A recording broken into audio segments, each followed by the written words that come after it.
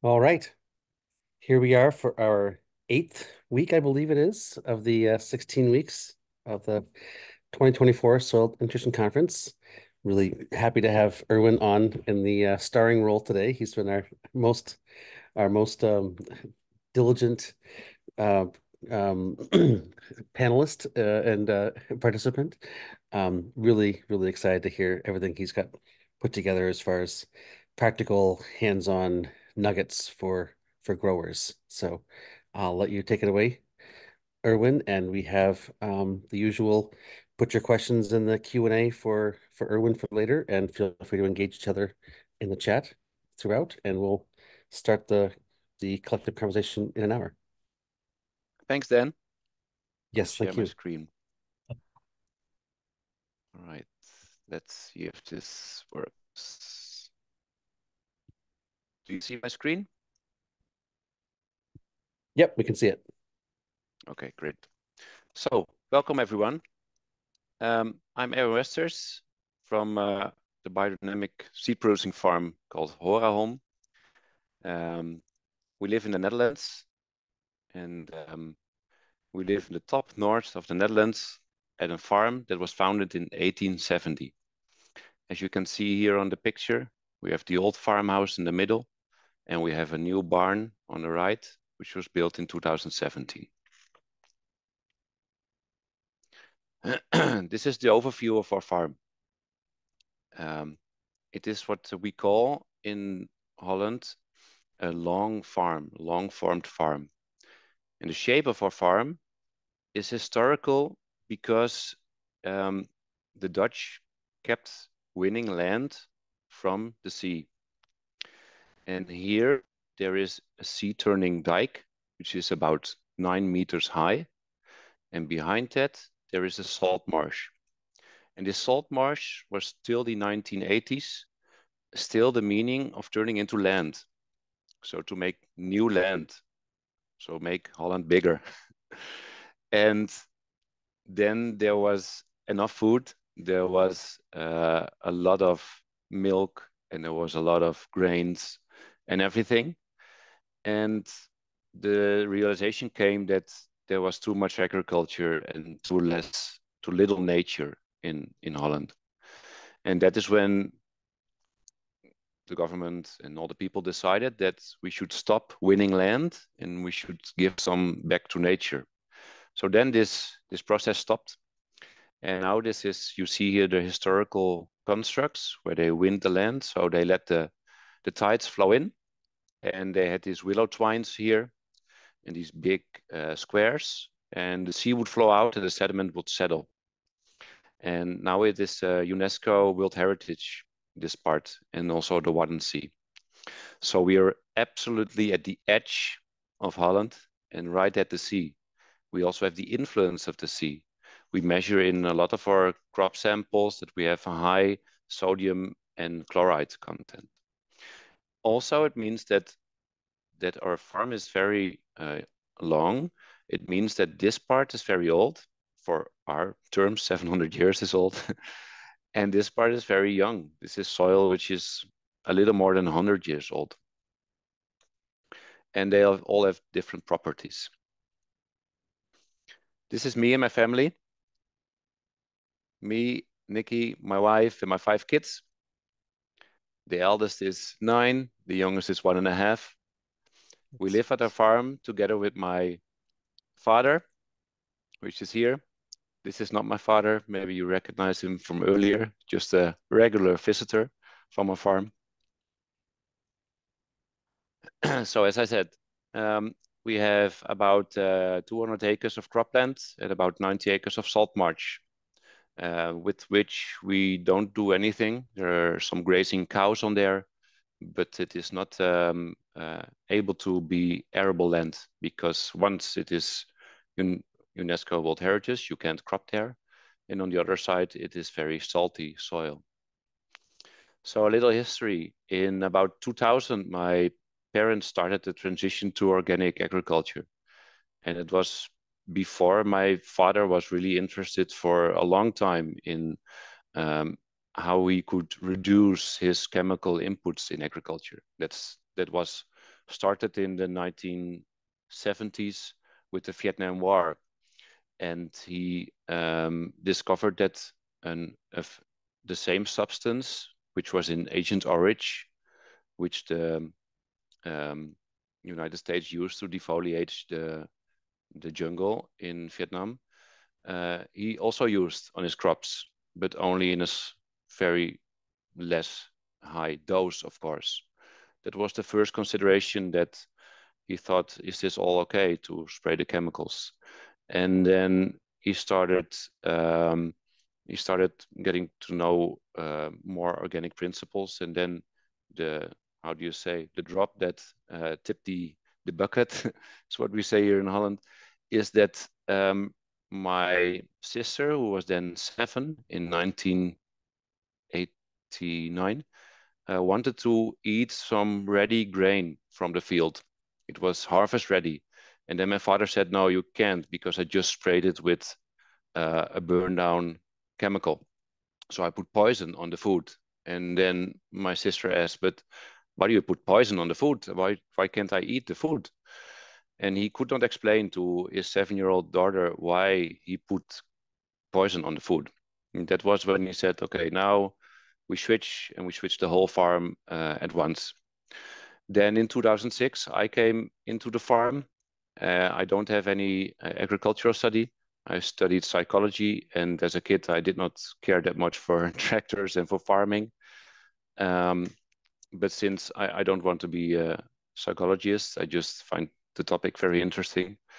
And uh, I saw on the farm that I could really uh, do my own thing and employ a lot of uh, new thoughts. And that is when we also is ex experimenting, uh, started experimenting with less tillage in cover crops, um, because we don't have any animals, and all the manure we have to buy, the organic manure, and in this organic manure are often a lot of surprises, not only in the form of plastics and stones, which I don't think the cattle ate, also in the forms of weeds that we have not seen before. And um, like dogs and that kind of weeds that you all have to pull out manually. And then we started thinking, uh, why do we need to export our grasses and clovers, which are normal in the crop rotation of an organic farm, and why should we then import this manure? So what does this animal in agriculture um, add to the feed that it gets? Um, and then we came to the conclusion that maybe it adds nothing. It just uh, digests it a little and uh, converts it and makes it um, something you can store and you can handle. And then we tried to uh, take their own cover crops, so the grass and clovers from one field to the other field. And we did that uh, a number of years, in which that time we, you could call us a vegan farm, even though we did not have a vegan uh, principle behind it. We just wanted to go uh, all, how do you say, within their own farm. We wanted to know how far we could go without importing any inputs. And that went really well because we saw that when we used less tillage, that we needed less mm, fertilization for the crop um, because soil life could deliver more if you disturbed it less. And that led us to about six or seven years working without any inputs except for gasoline for the tractors and seeds for the cover crops and our cash crops. And then we we saw that there was such a long learning curve in this um, in this system that not everything went really well. Some crops did, did good, but other crops did not good, and especially in spring. And we did not understand why. And at that time, my father discovered uh, two German advisors, Dietmar Näser and Friedrich Wenz. The first one you have heard on this conference and they were giving courses in Germany about um, minimum tillage uh, on an organic way, but not exclusively for organic farmers, but without a chemical way, and the use of cover crops, and really putting together the experts on cover crops and the experts on soil biology, and together teaching this Bodenkurs in Groenen. And this soil course in green, as it's called, um, was really getting deeply into all the aspects of the minerals and the microbes and also the machines you could use as a farmer. But they come last. And until that time, we have thought a lot about uh, which machine can make the field from a green cover crop uh, back into a bare state so that we can sow. And we thought purely technical. So green field must turn into something that we can sow. And we did not take into account any soil processes that uh, took place when this cover crop was decomposing. And as you can understand, when a cover crop is decomposing, all these total proteins and carbohydrates and secondary metabolites are pulled into all these smaller pieces. And in this process, when you want to germinate a seed, you can uh, imagine that that is not always the best environment for a seed to germinate. And that is where a lot of um, uh, crops have sometimes uh, um, a hard start in spring when the when the uh, circumstances are not all right. It is a little bit wet and cold, and you want to decompose something and you want to start new growth. That is not really compatible. And also, we learned from from Dietmar, from Friedrich, that these processes had to be monitored and had to be guided in a certain direction. So if you want to incorporate a green cover crop in spring, which is, of course, for the soil, the best if it is green over winter, if it doesn't winter kill, which is in our region very good possible with a lot of plants. But then you have this green vegetation and you must turn this into something that is uh, fertilization for your next crop. And then I will show you in the rest of the presentation how we do this. And on 2013, uh, 14, this got the name of regenerative agriculture or regenerative Landwirtschaft in German. We grow a lot of seed crops. We only have um, carrots as a consumption crop, so to say, for people to eat. Of course, you can eat the seed crops while they are in their consumption state, uh, but some of them we have to grow over winter, and other ones the annuals will produce seed the same year. So we see the whole um, life cycle of a crop. We see the state in which you normally consume, like radish, after 30 days, but then we grow it for another 60 to 90 days. It starts flowering, which normally when it starts bolting and you're a gardener, you say, okay, it's not it's not appropriate to eat it anymore. And that is a process that we take to the end, flowering, seed set, and at the end, of course, uh, seed harvest. Um, listed here are the crops that we grow. They differ every year depending on what is needed by the different buyers. We have um, uh, a lot of uh, biodynamic seed uh, companies who buy our seeds for, for VF contracts. They almost exclusively produce open pollinated seeds, also some heirloom seeds, old varieties with certain values. Um, we only produce for uh, a big Dutch company organic seed, sometimes which is a hybrid.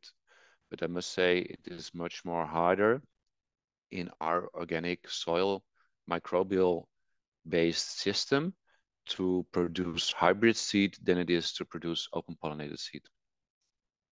But I think that's a different discussion for now. This is a field of nasturtiums, mix for seed.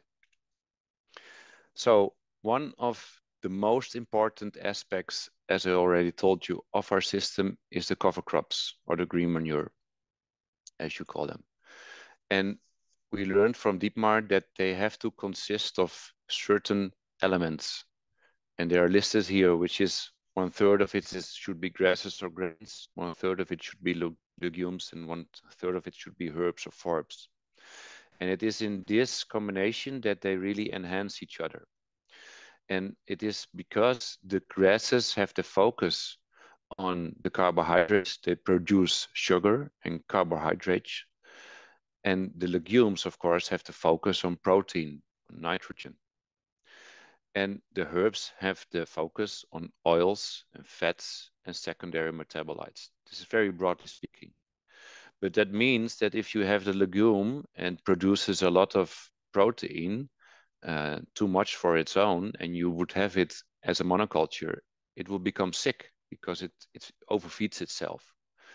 And if you have the grasses who do not produce that much protein, but a lot of carbohydrates, they really go good together. And then you have the herbs or the forbs who put all the other enzymes and secondary metabolites and vitamins that the total mix needs uh, into the equation. And we certainly look at what kind of plants are in there, especially for seed production. So we cannot have any, um, how do you say, cross-pollinating species in it. So rapeseed is a hard one because we also grow, for instance, rutabagas, which is a family of a rape. Um, we cannot sow um, uh, daikon radish because we sow normal radish, um, like the purple radish for seed. Um, but there are a lot of plant varieties left to choose from. And we sow these cover crops uh, after a harvest. And that is how we started um, in 2006 with experimenting cover crops. So we have a cash crop, cash crop is finished, you harvest, and then you sow a cover crop. And that is how most farmers do it here. But then Dietmar also appointed us to the very um, important part of the growing of a cash crop, which is the latter end of the cash crop season. When, for instance, a grain has become vegetative and later reproductive, from that stage on, the soil life does not get that much photosynthesis energy because all this energy goes to the, to the bloom and later the fruit or the grain. And in that moment, the soil life is kind of starved. And it looks green still, the field, and later it looks a little bit brown when it goes into ripening, especially then the soil life doesn't get any sugars anymore. And if you use an undersowing, then you can keep the soil life fed with photosynthesis exudates during summer. And that looks a little bit like this. So we sow most of our crops where we can with an undersowing because we think an undersowing is much more effective than a cover crop after harvest. In some crops, we also must sow after harvest, like a potato crop or a carrot crop, because simply the soil is disturbed and you don't have any possibility to spare the undersowing that's in there. But in most of our seed crops, we succeed in sowing the undersowing together with the cash crop, for instance, peas in say April or May in spring. So we sow it together and we harvest the seed crop, for instance, in August. We let the undersowing stay over winter. Maybe we check if there's soil compaction, we strip till or we fertilize or spray compost tea. And then in the next spring, again in April, we terminate by a surface composting and we prepare for the next crop. And in that way, we can have green vegetative plants growing on a field for, let's say, 48 to 50 weeks a year. And if you look at the soil structure that that, that does in the contrast to when there's no undersowing. So here on the right, there's an undersowing in a cress seed crop. A cress seed crop is a 90-day seed crop. So that means it is, sorry, it is only vegetative for about six to eight weeks. And in that period, the after that period, the undersowing takes over and creates good soil structure for harvest. When you don't have the undersowing, you have a uh, degenerating soil structure. So at harvest, you have this. And then, of course, you can sow a cover crop, but you all already have had this degeneration of soil structure. It also means that at harvest, we use special techniques. It is not a very new technique. It is uh, swadding and picking it up with a pickup on the combine. It is something that is done um, in some seed crops standard, and it is has been done uh, in the past more before they had the burn down chemicals, they used swadding a lot more. So it is mowing of the crop like five till seven days before ripening. And then after a couple days, you can pick it up with the combine. It is an easy, low cost technique to make uh, some of the undersowing that has maybe gotten a little too high in the seed crop be no problem at all at harvest. We don't have any extra risk at harvest because of the undersowing. So what does it look like in, in terms of photo energy that we get?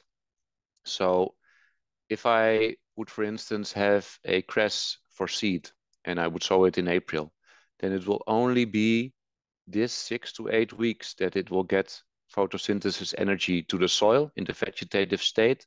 Then it would bolt, it would shoot, set flower, and all this photo energy would go to the seed. So that's not to the soil life. Then afterwards, after harvest, if you would sow a cover crop, then you would harness this photo energy.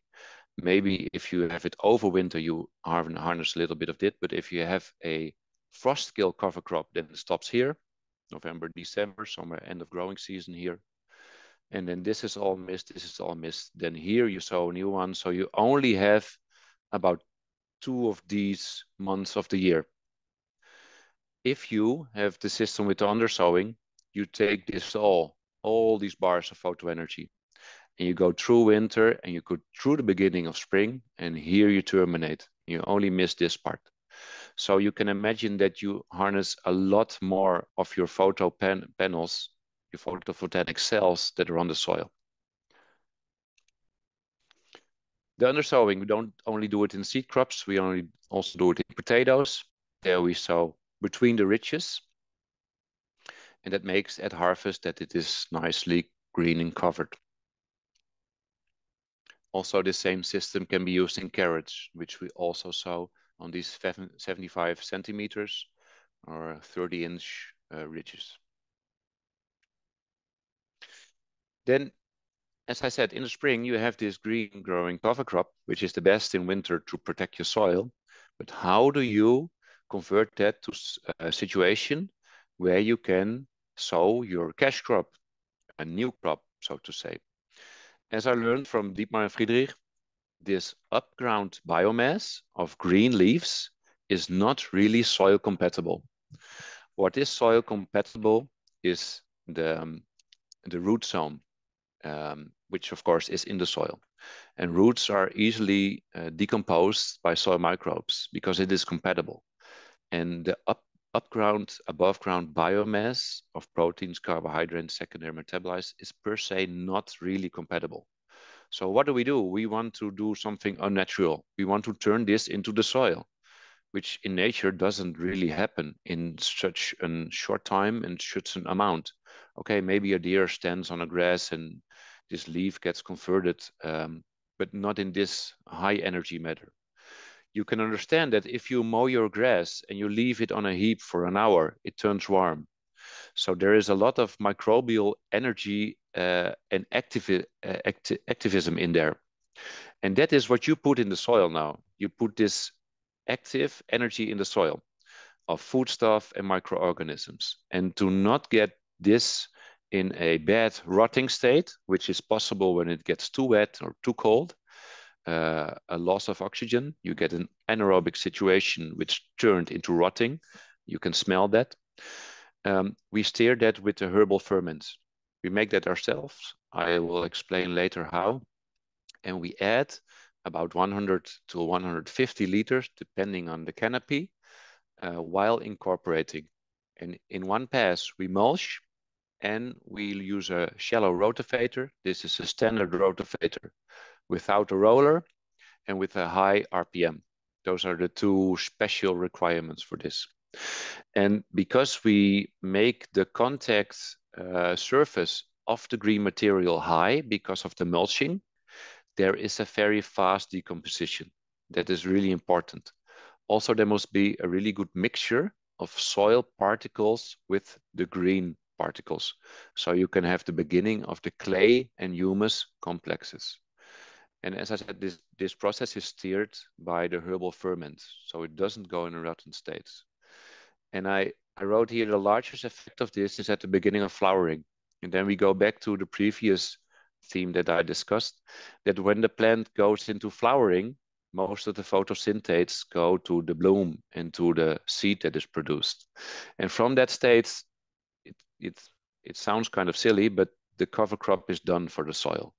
You must not wait and turn it uh, the CN ratio high because then the decomposition will be uh, tougher. But you must then incorporate because the work for the soil is done. Uh, even though it sometimes might not be the nicest thing to do to mulch and incorporate a crop in full bloom, as you can see here. Okay, it's a nice picture, but when you're on tractor, you say, you think, okay, it's maybe not the nicest thing to mulch away all these nice flowers, but okay. As you can see on this picture, these grasses, which are already some time in bloom, this is um, a situation which is actually a little bit too late for good decomposition. It can happen, but it will take a much longer than, for instance, here or even in a younger state. So this was in the beginning when we did not have that experience yet. And later on also from other farmers, we heard that their experience was also that the, the plant should not be become in too much bloom or uh, too much reproductive because then the CN ratio will be that much carbon compared to nitrogen that the decomposition just is very slow. And in spring, you don't have the time to wait to to wait to two months before you want to sow your cash crop. You you want to terminate and in two or three weeks you can give the soil that time and then you want to sow, but you don't want to wait any longer. And the longer you uh, let this crop become reproductive, so form seed and bloom, um, the longer the decomposition will will go. And there is a certain turning point uh, from which this crop will not give you fertilization this year anymore, but will take fertilization per cash crop. And that is a little bit fingerspitzengefühl when that when that is. Also, sometimes you don't have a choice as a farmer. You must sometimes terminate early, or you can only terminate late because it's too wet. And then you learn what what is the uh, what are the boundaries of this. And, and of course, in the next year, it will be fertilizations for the soil, but you want also a crop this year. And if you have too high CN, it will take too much of your cash crop. So this is how um, it looks um, between uh, just peeled, as we say it with the rotavator, and two days before. Um, herbal ferments we also spray behind tines with a strip tiller about uh, 30 uh, inch uh, in between, which is also one of the very good techniques together with uh, or surface composting, the incorporating the green manure, to create a very nice uh, soil structure. This is an example of that, of very heavy clay soil uh, in autumn, where we did the both techniques. And we, before we really took notice of the microbiology, in these processes and the minerals, and we only worked with the technique of minimum till and cover crops. We were on this heavy soil, only able to get a good tilth till about here, about 10 centimeters. And we were really frustrated by not turning the soil and having a lot of green cover crops, but not really managing or uh, thinking about what the decomposition and the microbes would do. Here under, it was all chocolate it was all hard and and uh, how do you say rectangular. It was not crumbly. And since we started using these other techniques, um, it became crumbly all the way down. It was really remarkable. Also in spring, also heavy clay soil. Um, we see that after the Flächenrotte, the soil, soil surface composting, very nice structure. So you see here, there is of course some residue which is left on top because the rotavator mixes it, but of course there's a part on top. That part will just dry. So the other parts which are under the surface become in contact with the soil particles and give there all their energy in the form of protein and carbohydrates and secondary metabolites to the soil life. And they make these stable clay humus complexes here. And that is what you can see in the crumb structure. And when you do this process in spring, then you have to really use your nose and your eyes to observe if the process is finished. So if you go after one week and you smell that it is a little bit muffy, a little bit fungus-like smelling, then it's not ready yet. It is still in the in the phase that the the green cover crop is taken apart and is assembled again in microorganisms' bodies. And only when it smells a little bit like sweet forest soil, then a little bit like actinomycetes uh, smell, then, then you smell that it is ready. And you can see it at the crumb structure. It should be all a little bit the same uh, size of crumbs. You see it as the color. Should not, it should become brown and not light gray as on the, on the surface of the soil. How do we make these herbal ferments that we use for the incorporation of the cover crops? So here's a recipe that we use. Um, and in the instance of the product that we use in the incorporation of the cover crops, we specifically use about 60 liters of herbs or herbal seeds, which we have from our seed cleaning. And we ferment that because those are the weeds um, that came from our field and that have a lot of useful compounds in them. And if the soil is growing them, then it means that the soil needs them because otherwise they would not come there. And if we take them and um, ferment them, then we take um, the good stuff out of it, so to say, and we put that in the soil again. So we intentionally um, give our intention also to the soil. So it's also it's not only all um, in science this, was also a biodynamic part in it. I think uh, of saying, okay, I, I will help you, soil, with what you need. And I made that for you. I prepared it so you don't need to send me these other herbs that uh, I might want to get rid of. Um, the 200 liters that I say here is especially for the seaweed. Uh, when we ferment that, uh, I use fresh seaweed, which is uh, a lot available here, of course, at the sea. Um, and I use about 200 liters. But for the herbs, we use, about 60 liters fresh, uh, and seeds can be a little bit less. Um, started as at 35 degrees Celsius for a minimum of seven days. This is how we do that. We do it in uh, 1000 liter IBC containers or totes. And um, there is a starter ferment, there is molasses, there is salt, there is uh, hot water here, there is fresh structured water, there's two forklifts and a lot of movement. And then in one day we can make about 30,000 liters or about 12,000 gallons, I think. Temperature check is very important because when you heat it up too much above 40 degrees, you put in the microorganisms as a starter, starter they die and that is not something you want. These are the fresh herbs. You can see there's also nasturtium in there. There is a lot of flowers. We try to take as much flowers as possible because those contain the best secondary metabolite compounds. Um, we try to take out old leaves. You see here, old kale leaf. We try not to take uh, a lot of grasses, only sometimes the bloom of a grass, but the grasses themselves don't contain that many secondary metabolites. Then we mix and we cut, and then we um, do it in these, um, how do you say, perforated bags. And these bags go into the totes at the end. Then we fill up with water to the exact good temperature. Because I learned that from a fermenting expert, Christoph Fischer from um, Chiemgau, he delivers the starter culture that it is very important to start all the totes at the same temperature. Because if you don't start at 35 degrees, but you start at 30 degrees, some of the microorganisms uh, will not grow that fast and others will grow faster. So you have like a Formula One race where not all the cars are the same. And what you want is a very diverse end product. And for that, it is very important that you start at uh, a given uh, optimal temperature. So all the players have the same chance to, um, how do you say, propagate. Um, so I have in in the first beginning in 2015 when we started, we just put it in and put it at room temperature for 20 degrees and then waited three or four weeks. But that was not always a consistent result, and now it is. This is in the case of making seaweeds ferments.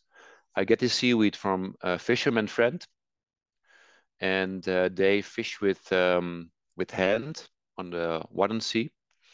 And they say, we have so much trouble now with seaweeds because you agriculture, you are leaching all your nitrogen and phosphates into the sea. Of course, I am not, but you and you and your agriculture. And we have all our nets full with this seaweed and we, we can't do anything with it.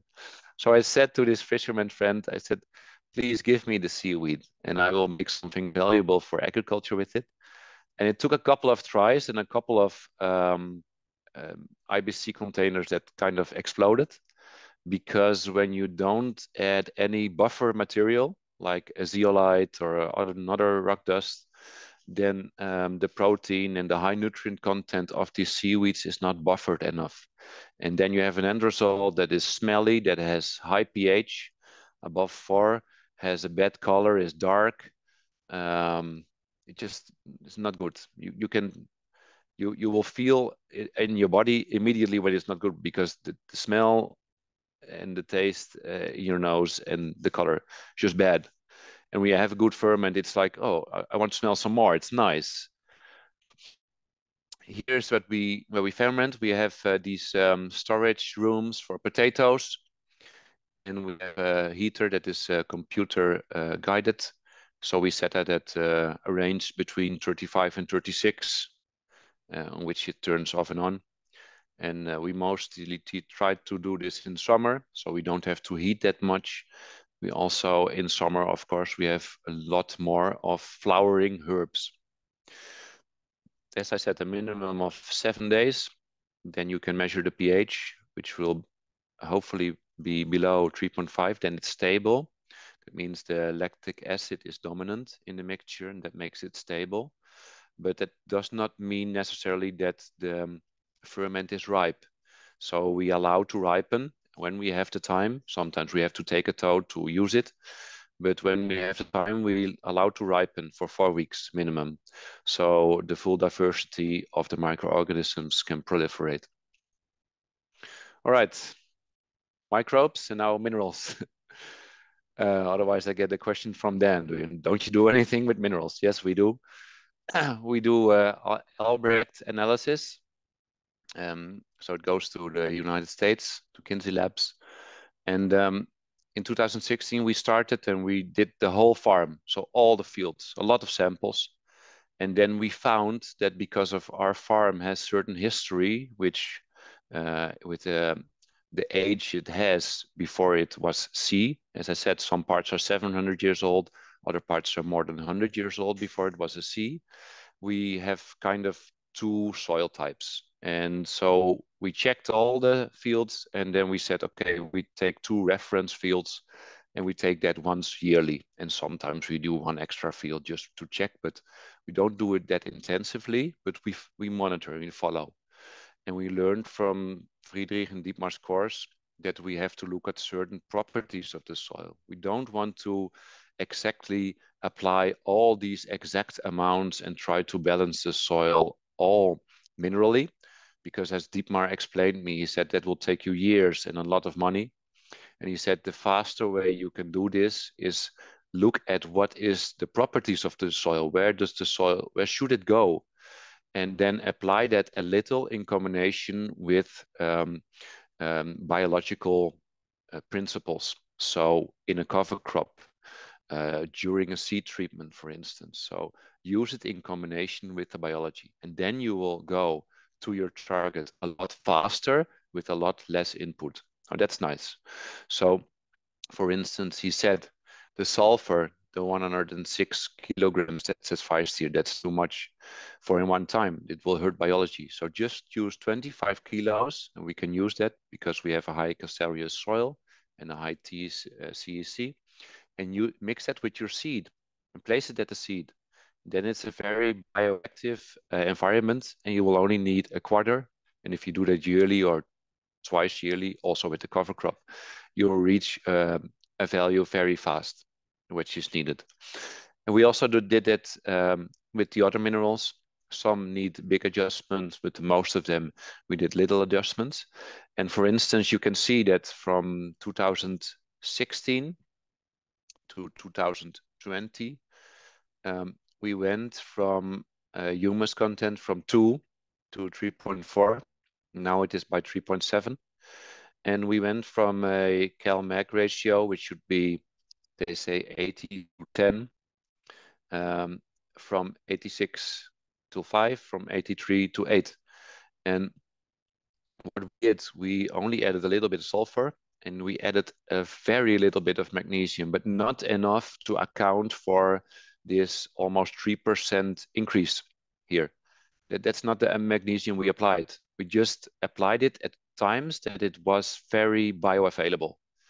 And um, so what Dietmar said, these biogenic measures, as he said, as he called it, are very effective.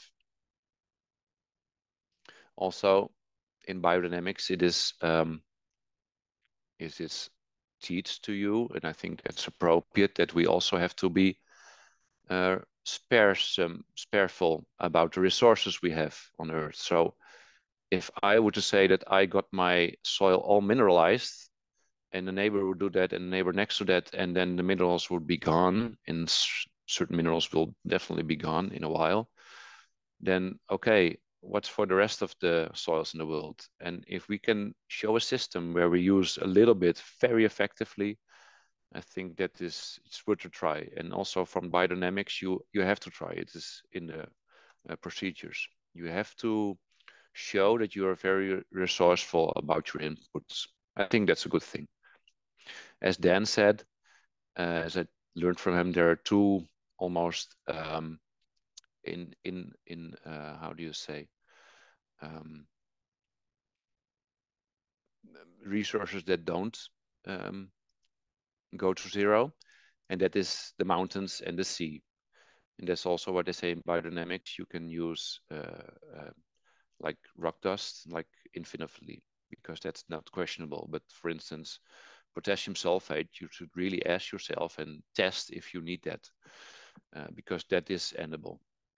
And since we are at the sea, we use a lot of uh, sea minerals, which we make ourselves. Okay, back to microbes again. Compost tea.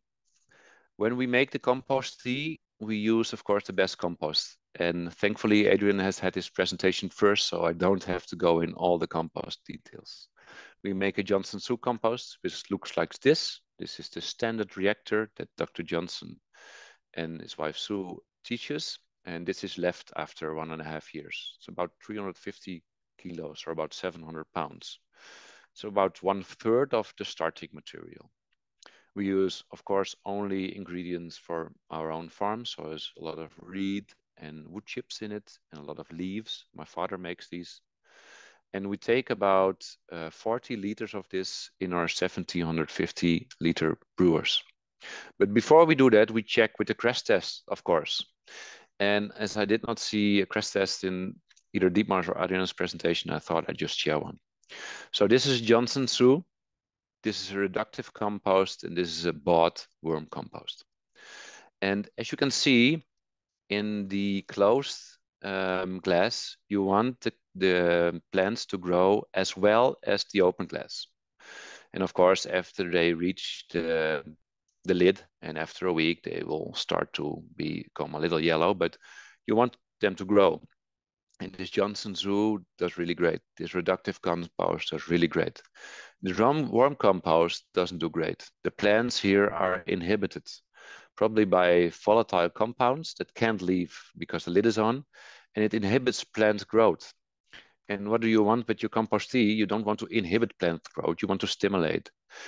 This worm, worm compost is even more um, dangerous, I think, because also the uh, test with the lid open is growing not so good comparison to the other two. Um, I must say I have had a lot of commercial worm compost to test and I have had never one that tested good. The only worm co compost that tested good is my own Johnson Su, since this is a worm compost but not the one that is made in the you know the the real worm factories, so to say. The rest of the ingredients is one and a half kilograms of dried seaweed, the same of dried alfalfa, the same of finest rock dust, one kilogram of citric acid to get the pH a little bit lower to about five and a half, six, because we have a lot of fungi in here and it is best to keep them at a somewhat lower pH. Two liters of uh, which we make ourselves by grinding leonardite in a mill, and two liters of linseed oil. And this linseed oil is um, because we need an oil, because otherwise we'll get a lot of foam. And that's really annoying that uh, the next morning you go to your brewer and there's a lot of foam on the ground and it's all messy. And we, when we, when we uh, add two liters of oil, then it's okay. And I like to add oil that has a good omega-3 to 6 ratio. So this is the brewer tested and made by together and approved by Adrian. Uh, here he is checking for the microscope with my father. My father checks on the microscope if the compost tea is good, the recipe, the temperature, and so on. I now have a small video of how the brewer works. I hope it works for everyone.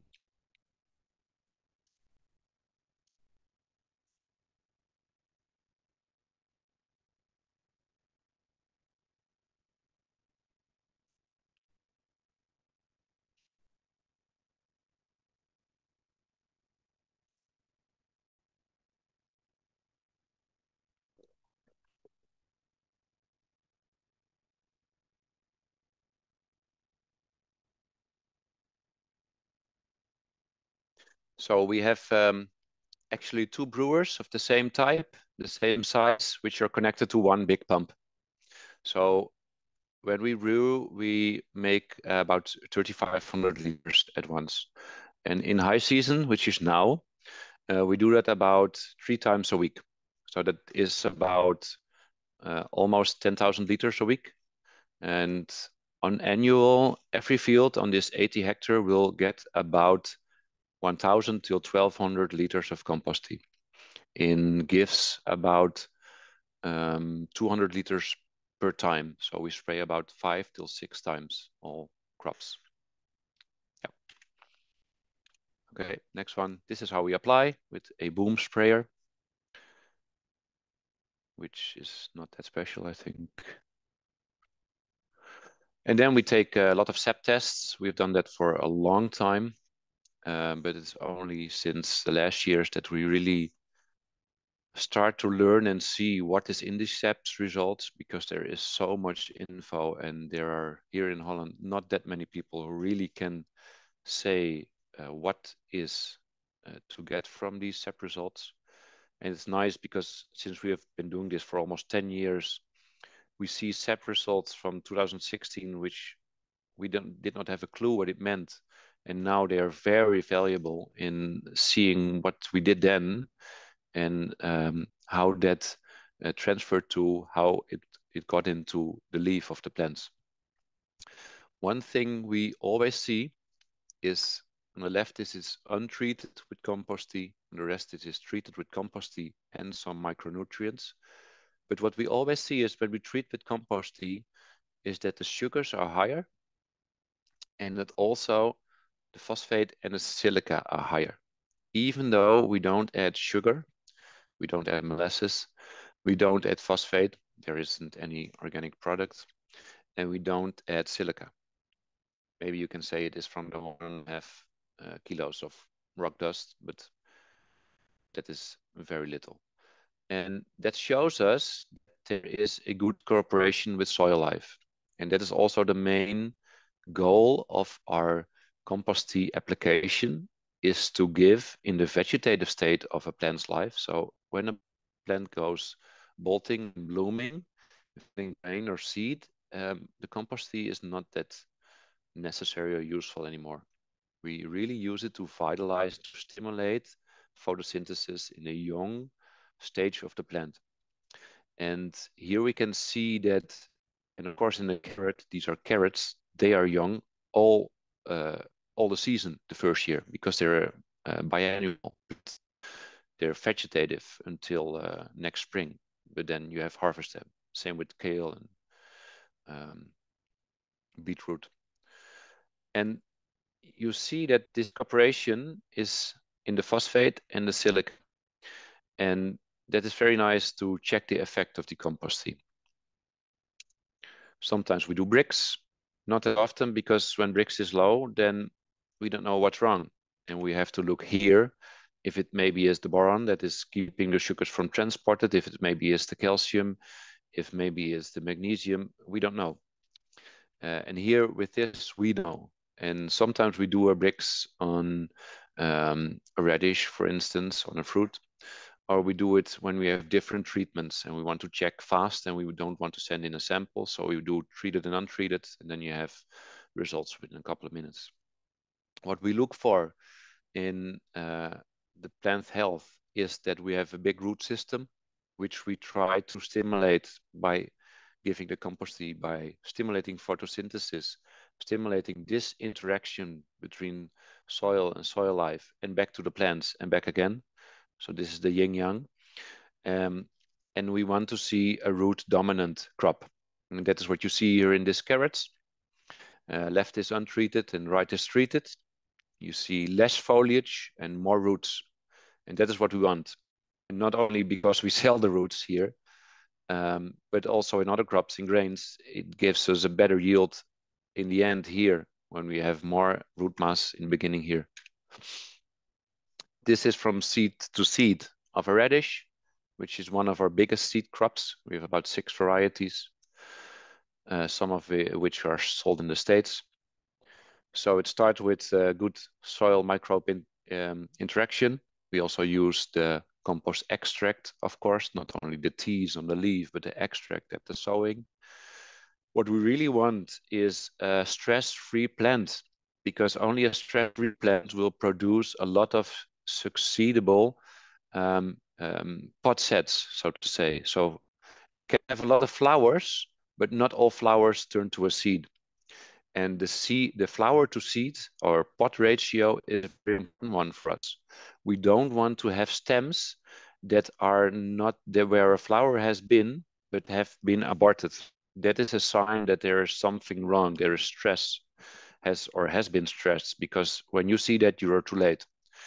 Um, so in, in, in an earlier stage that is, we try to optimize plant health as best as we can so we get a good seed set because this is what we need, the seed which comes from a good seed set. Um, okay. Plant health in a very, um, uh, for today, this is very accurate because now it is has been the wettest season ever in uh, Holland and there are uh, a lot of problems with the late blight in potatoes. So there are certain uh, potato fields who have come up, don't have any yields, and have been burned down by organic farmers. There are some organic farmers turning back to conventional because otherwise they have no yield and they go bankrupt because they cannot miss one year of potato harvest. And all kinds of stories like that. So that's not so nice. Uh, here we see the effects of uh, about an eight time application of compost tea in a vulnerable variety. We also have a lot of resistant varieties now, thankfully, in combination with micronutrients during to, to plant sap analysis. And we have had great effects. And this is about the difference of about two weeks of growth. So in two weeks, this part also became ill and we had to terminate by burning. Um, but there was a two weeks um, improvement in, in disease resistant. It was very, very obvious, like there was fungicide applied here. Uh, but we don't do that, of course.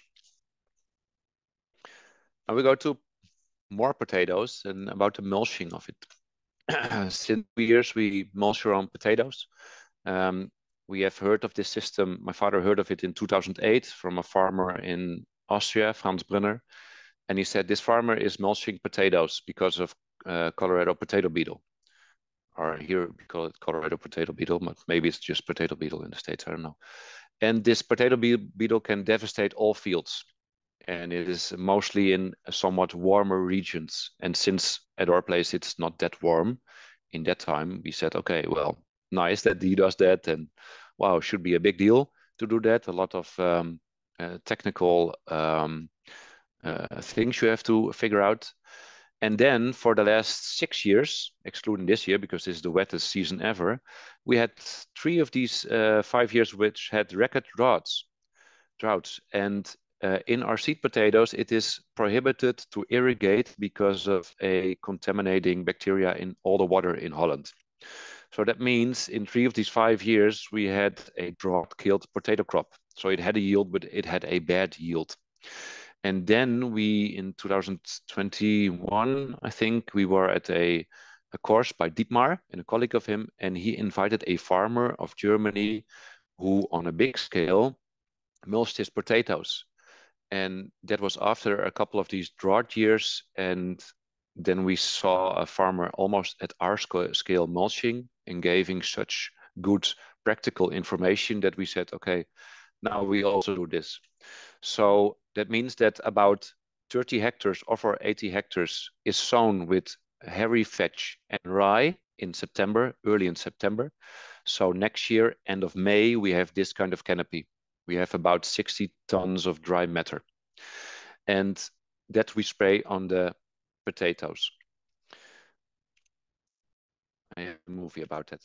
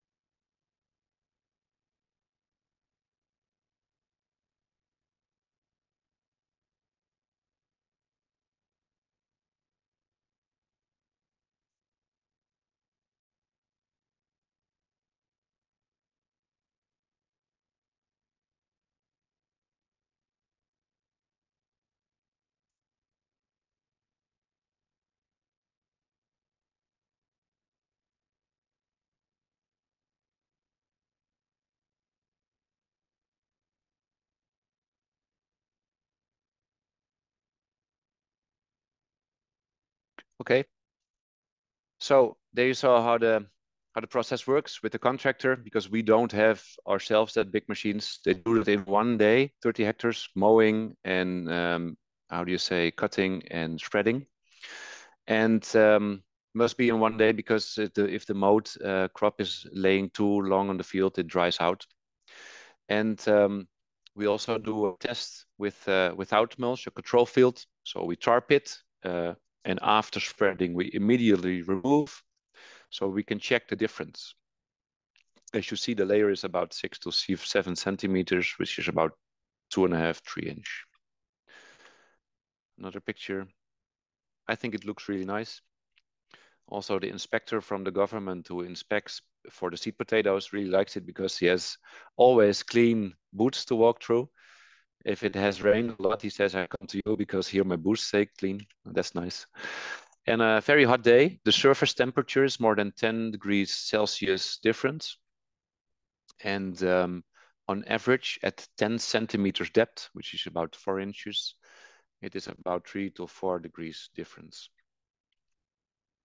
We also sow uh, an undersowing in potatoes right before, like a day before we uh, bring out the mulch. So it grows in the uh, talls and um, between ridges, and it can give a little bit diversity. When we see that uh, we pull the mulch apart and we see that this potato is getting its nutrients directly from the mulch. Its roots are in the mulch. And that shows me that it is a very uh, natural form of fertilization. In the other system where we did not have a cover of mulch, we would have a bare soil that would, when it got wet, it will get a crust, and then when it would go, go when it would got dry, um, the roots would die there, and the microbes too, because It is a bigger surface. The sun hits it, it gets hot. Roots don't have anything to do there.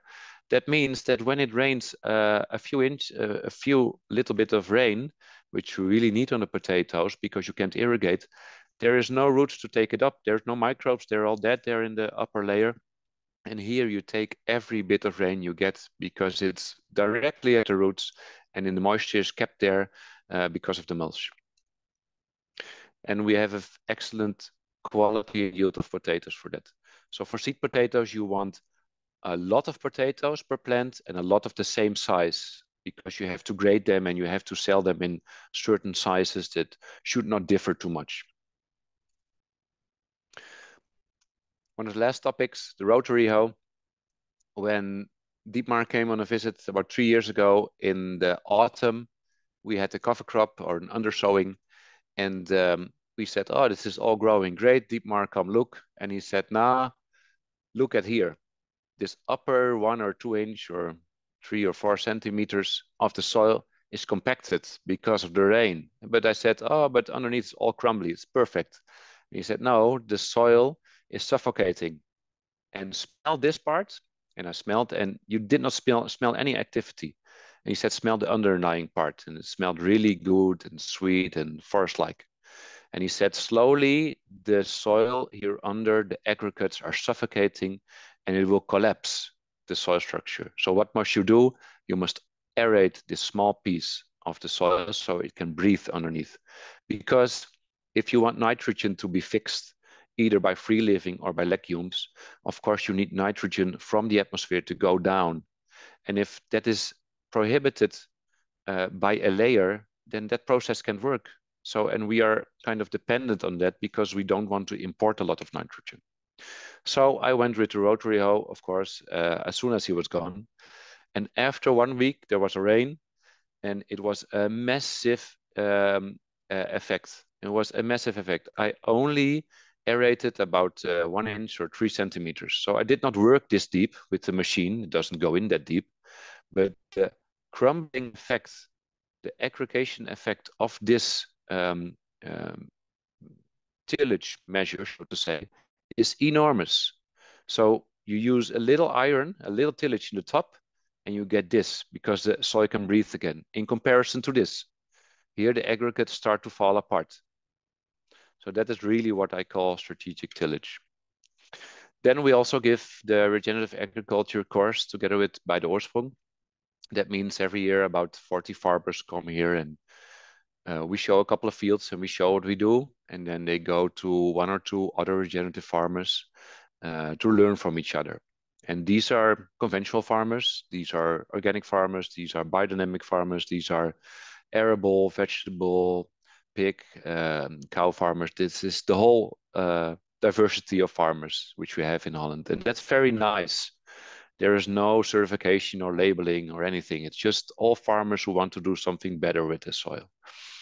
Really nice. Now, here's my inspiration, my partners and my inspirators. Special thanks to Dan. I learned a lot from his Principles of Biology, Biological Systems courses. I've I think I listened to three of them about two times. Uh, he learned me how to extract seawater. He learned me the the two um, um, how do you say things that are indepletable, the sea and the mountains, which really stuck by me.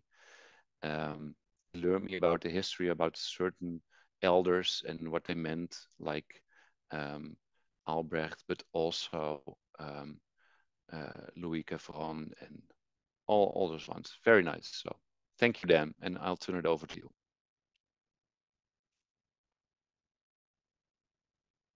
Thank you very much, Erwin. Um, this has been great. Lots of practical how-to things for for real farmers on scale. This is great. I love the um the balance of the soil food web and the biodynamics and the you know um regenerative and the strategic tillage and the ferments um the undersowing, it's really brilliant. Um, yeah, so uh, we've got David Knaus on this week for the first time, which is very exciting. David, do you want, are you able to turn your camera on and and um, unmute yourself? I'm not sure if he's able to or not. Um, Give me okay. just a minute. I'm going to uh, shift from my phone to my computer, and I, I will hopefully be able to turn on my computer in a second. Beautiful. All right. Great. Well, um, we've got Adrian and Dietmar. Do either of you have any comments you'd like to share, or questions, or or things you know about Erwin's operation that maybe he, you think he didn't emphasize sufficiently, or just overall comments before before I jump into my list? You're muted, Adrian. Mm.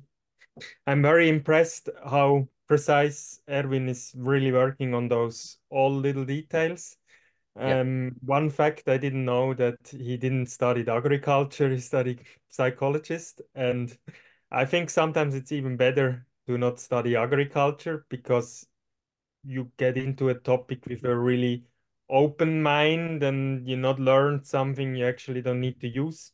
So I think it's an advantage for him to to think agriculture in a new way, and especially for maybe not European people, um, the Netherlands, the, the agriculture is so intensive. Um, I think he's it's he's on the right place in the right country to to give a good example that you also can produce a lot of food uh, in a complete different way.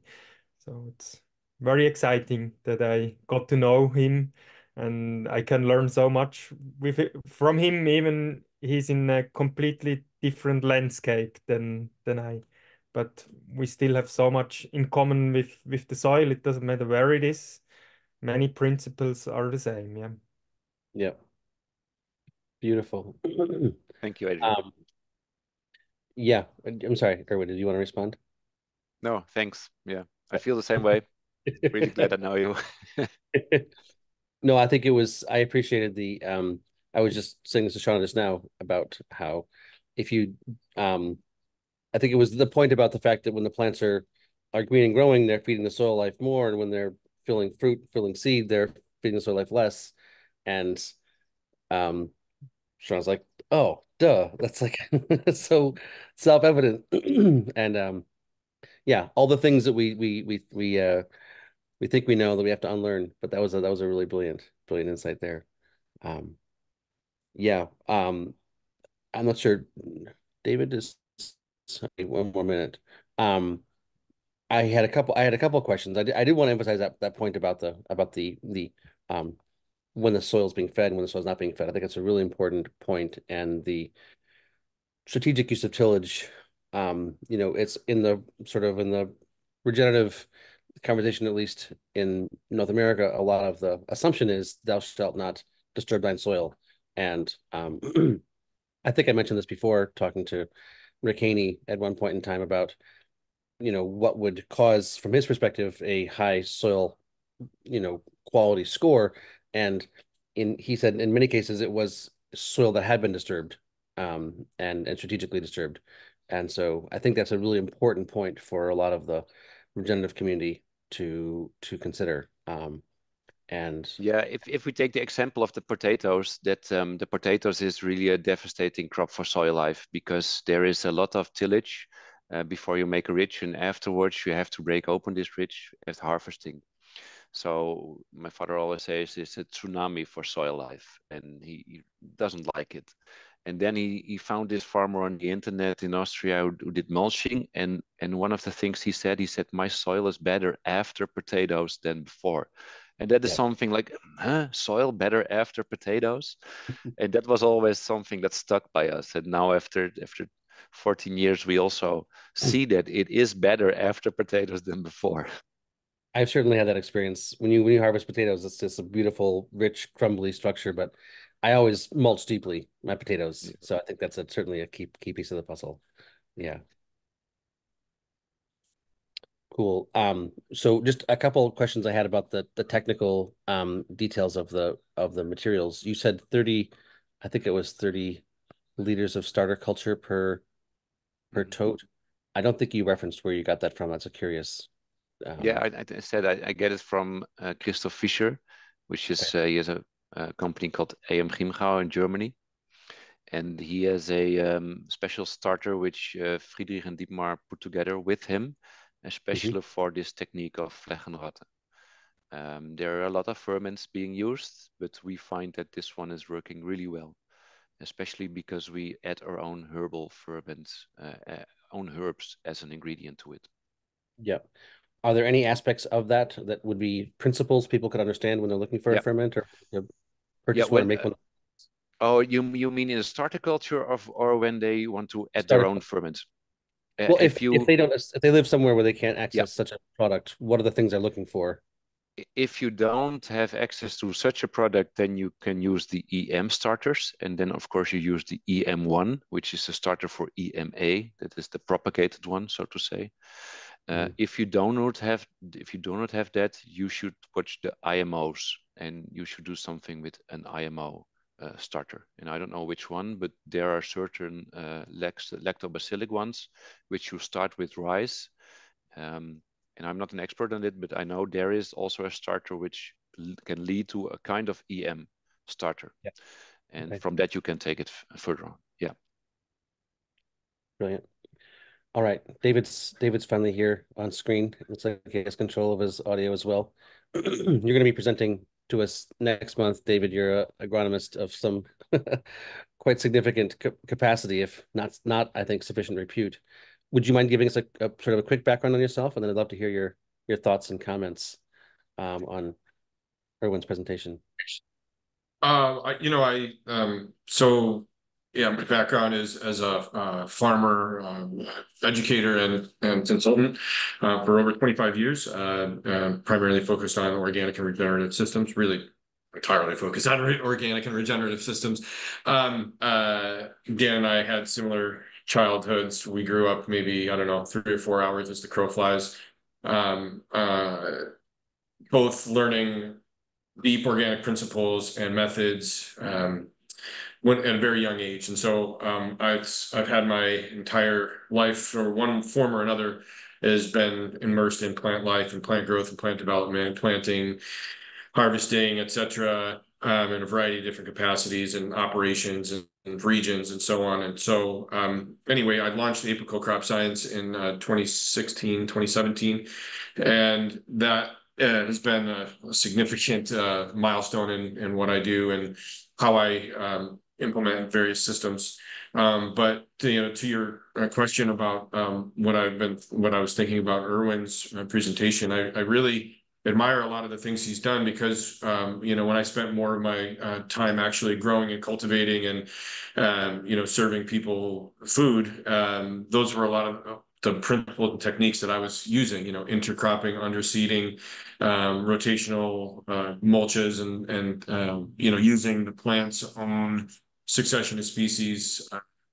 I, I you know towards growing better crops. And so I really, I took quite a bit of um, really nice techniques away. I was just nodding my head quite a few times over throughout your presentation, Erwin. And actually, it's nice to see you, your face with a name because I think we've actually communicated once or twice. Yeah, yeah. I um, sent you a couple of emails uh, once. Yeah yeah, yeah, yeah, So, so it's nice to. Yeah. Um, um, I didn't know who the the speaker was, and then uh, Dan said, "Well, you need to join tomorrow." And I said, "Oh, I've actually heard of this guy and and um, once or twice." So uh, it's nice to meet you, and, and yeah, really cool pictures, and and really admired a lot of the techniques you're implementing. And um, there's uh, there's a lot there, right? More than people really appreciate. And so, you know, when all this ag tech that's out there that we see going around, uh, you know, the latest and greatest thing everyone always forgets or you know, at least not myself, but maybe other people like yourself, that Mother Nature has so much more of this game figured out. And, if, if we can just interact in a, in a constructive way, that that that that you know, sort of the learning is endless. So anyway, I'll turn it back over to you guys, and uh, um, that's kind of my two cents on what I see with your presentation. So yeah, really like what you're doing there, and I'm happy to engage on whatever level we can. So thanks, David. I, I was wondering if you had any questions for him as an agronomist with the skill sets you have, um, or even suggestions, David, because I know you work with some pretty exciting materials that, um, yeah, I'm just sort of questions and then the salinity. I think you were to be offering. What, what's that? Um, I, I would say just managing salinity in the zone that you're that you alluded to, and I think that's something we had kind of touched on in our previous email communications. Yeah. That's Um, you know, it's a common theme we see agronomically across the globe, uh, in a variety of different regions, um, either saline or sodic soils, depending on how you want to lump them together and classify them. But, you know, sodium stress, chloride stress, um, uh, you know, what that does to plant roots, um, uh, from a, you know, sort of dehydration standpoint or what it does to other mineral sort of antagonisms. And these are things we deal with all the time. And, um, and, and so I, you know, I'm always looking for new insights around how people are employing various strategies and managing with sun. Yeah, that was also why I contacted you back then because I read something in Acres or I don't know on a on a website and and you said something about salinity and I always see in in my PlantSeps data that my salinity the sodium and, in chloride is higher than when you compare to farmers more inland and especially to Switzerland and, and Adrian says, oh, sometimes we must add salt. I think, okay, so that must be the sea then, you know? Yeah, and then yeah. I think, well, what, what other goodies, goodies do, do I get from the air, from the sea? But I don't measure that that much. It's it's mostly the salt, and, and that's that's why I, I got to you in the contact. So what can we do about it? And you know, in, in all general terms, it's of course building humus uh, as a buffer. Uh, and maybe working with humates on, on foliage and maybe at planting and stuff like that to buffer it. Um, yeah, stuff like that. It, it's, it's a tough one, I think. Yeah, mostly people say look at irrigation water, but when the sea is irrigating your crops, then there's nothing really you can do. There's already a dike of, of nine meters, so I cannot really uh, uh lift that up. What do, what do you No, I- suggest for that situation, Dave? Oh, sorry. Yeah. Oh, I, I, I mean, it's, uh, it's always gonna be, a lot of that's gonna be, um, uh, based around soil texture, right? So is it more clay or is it more sand? Um, you know, the clays can absorb, uh, and, and release salts both, you know, a little bit slower, but the sands will have, you know, a lot of rapid cycling. And so, um, you know, with, with more clay soils, you can do sort of a one-time application, right? Of, of some X, Y, or Z, but with sands, you know, you're gonna have to be into uh um incorporating variety of carbon sources and silicon sources into um uh into your management practices just on a broad scale. So uh, you know, as you turn a crop, um, or you know, in foliar sprays and things like that, a lot of that stuff is is built into biodynamics, right? So, um, you know, if you're practicing good biodynamic principles and you know, with the the silica, the, the preps and so forth, then uh, then that should should take care of some of it some of that need, but you never know. I mean, with saline soils, it can be a it can be a um an ongoing adventure. Yeah. I think so because it's not only coming from above, it's also coming from underneath, from the root Right. zone. Yeah. Right, right. hmm hmm Yeah, you can't have enough carbon in those type of situations Yeah, almost. Yeah. That's right. Yeah. So I, I feel like, I mean, one thing that I really appreciate about what, what Erwin is doing is, is making, you know, as much of, of what is applied to the land is from the land itself. I think he's very high on the curve of that, like accomplishment, like 98% or 99%, something like that. Um, I think, as I understand it, you do take the um, sap tests and you do add minerals in to those um, sprays based on the sap test results. Erwin, that's that's Yeah. something you do. Yeah, yeah, we do, Yeah, but we try just- to make to take minimal um, minimal amounts in combination with the compost tea. Then we can Yeah. use minimal amounts. Yeah, same with uh, soil fertilization. Yeah, and and foliars in general, you don't do. It's just the compost applications. It, the compost tea is like the carrier. Yeah. Um, and as Adrian explained in his presentation, about 80% of the efficacy is maybe not of the living microbes. Yeah. So when we make it out of a Johnson-Su extract, it is nice that it has also spores, but I don't count of any, a lot of the microbes and spores to survive. So I use it as a carrier, as a surfactant, as a penetrant uh, on the leaf for um, the substances it uh, uh, in carries itself, the compost tea, the bioactive substances, but also for the nutrients, uh, which are mostly in sulfates or other chelated forms, micronutrients that we add to it. Yeah. Oh, Dietmar, please. He's raised his hand. I think he hasn't turned his camera on yet. Your your audio is turned off and your video is turned off. Äh, ja, wen hilfst du mal? Ja, ja, sehr gut. Okay, Also- now. Pflanzen ernähren sich nicht nur von Nährstoffen, sie ernähren sich vor allem von lebendem Zytoplasma, also von, von den Eiweißen aus den Zellen. Shall I translate again or? Yeah, yeah. Translate. Right. So, so plants don't don't don't eat uh, fertilization. They eat cytoplasm from living plants and microbes. Es ist ja seit über 50 Jahren bekannt äh, von Hugo Schandl, einem deutschen Wissenschaftler, und vor acht Jahren oder sieben Jahren von James White, nun auch wissenschaftlich bewiesen in den USA. So we know this from over 50 years from a German scientist called Hugo Unsler, Äh, Hugo Schandl. Sch- Hugo Schandelle. Okay, and uh, since seven years from uh, American scientist James White. Mhm. Und äh, wenn man es schafft, vorrangig, also in erster Priorität Pflanzen diesen, diesen, dieses Zytoplasma anzubieten, dann explodieren die regelrecht. So when your first priority is to give the plants cytoplasm, then they can really explode in growth. Dann spielt die Wirkung von mineralischen Nährstoffen äh, eine sekundäre Rolle. And then the working of mineral fertilization has a secondary role.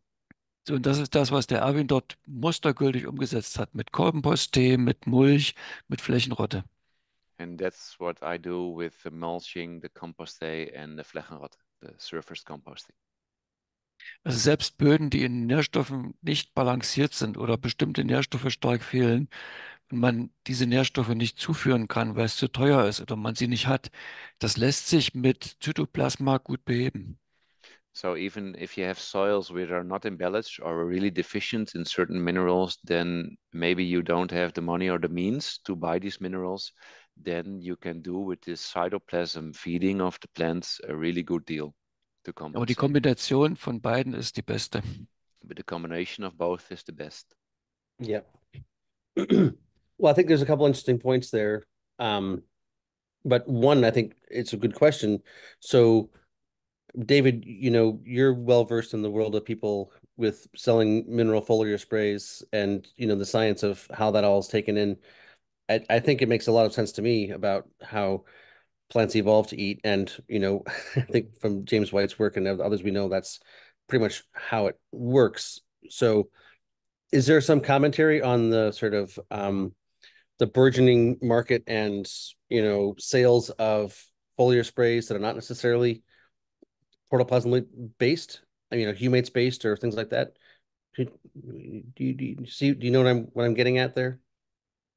I do, yeah, it's super, super complex topic. Um, I like the, the, um, comments from Dietmar, uh, around cytoplasm and, and the, you know, James White's work. Um, you know, when we're doing sap analysis, that's really what we're accessing, uh, in the plant. And, and, and, you know, and analyzing on a, on a week to week basis or however, you know, however the grower is engaging it. And so when you, when you, when you're accessing the, the minerals in that, um, you know, in that cytoplasm, you see a lot of different things going on. And so we get to evaluate a lot of these products that are out there in the market. And most of them, I mean, a lot of them don't work. Um, I, I'll say, um, and, and we're constantly looking at that and, and we're looking at, at, at different foliar sprays and, you know, does this one work or does that one work or why does it work or, oh, it works over here, it doesn't work over there. Because there's this, you know, you know, there's a sodium component and it gets rejected when the sodium's already too high in the plant and, you know, some of these sorts of things. Um, and so, yeah, a lot of there's there's a, a huge complexity to it. If you know, depending on the chelation method, if it's conventional, if it's organic, if it's a liquid suspension, if it's biologically derived. Um, uh, and so, yeah, a lot of the companies that are producing those these haven't thought through a lot of that, and so we see um, a huge variation. Um, uh, there, you know, I will kind of add to that. Um, I do think that also, um, you know, in addition to the work that James White's been doing around soil uptake and and so forth, we see a lot of um, sort of benefit to some of the techniques that are a little bit differently, you, you know, using minerals a little bit differently in soils that would correspond to like linear, you know, micronized or uh, mineral suspensions, um, but not from uh, adding to uh, plant uh, uptake, more tying up things that the plant that would interfere with plant uptake. Um, and so this is a, a key component that we see all the time where you know, say you look on a whatever on your Mehlich 3 and the, the, you know, say for instance, you have high sodium or high potassium or something like that. If you're constantly just spoon feeding or or you're adding small amounts of calcium to that soil, you may not actually be uptaking any of that calcium. And in a lot of cases, that's where you can actually use those products that don't work in a foliar spray um, is to actually just go out there and and and, and demobilize the the elements of the soil that the, that are interfering with the plant growth and development and so there's mobilization of nutrients and then there's demobilization of nutrients that are always happening um, and and so if you can engage in, in sort of both uh, uh, directions of the of the traffic flow. Um, I think that's another strategy towards uh, releasing natural nutrients that you have in, in your soil or so, so, forth like that. So I know that's a little bit of a roundabout uh, answer to what you're asking, but I see so much complexity and and lack of uptake of products that are being used out there. Um, there's some really good ones, but there's a lot that aren't. Yeah, I think one of the things you've told me in the past is that excess is 95% of the problem, usually excess of one sort or another. Um, when you and, analyze soils, when you analyze soils at a deep level, like through a total digest or environmental analysis, like there's massive amounts of potassium and phosphorus and calcium, you know, in hundreds, if not, you know, in some cases, thousands of pounds um, per acre.